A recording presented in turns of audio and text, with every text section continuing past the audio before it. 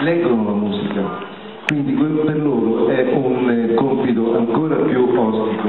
Comunque ecco fra adolescenti The Saints con Marching In.